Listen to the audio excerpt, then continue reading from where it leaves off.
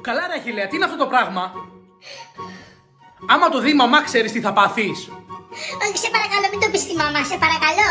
Πάρ το από εδώ τώρα να μην το βλέπω. Πάρ το από εδώ να μην το βλέπω. Και μην τολμήσεις. Μην τολμήσεις και το βάλεις στο στόμα σου. Γιατί ρε πουμπούνα.